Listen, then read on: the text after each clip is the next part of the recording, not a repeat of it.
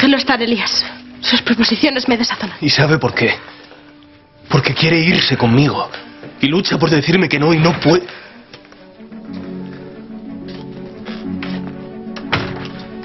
¿No deberías estar reposando? Ya me encuentro mejor. No lo parece, Camila. Tienes mala cara. Estoy bien, es solo que... Camila. Camila. Camila. Camila. ¿Qué te ocurre? Avisa al doctor Moliner.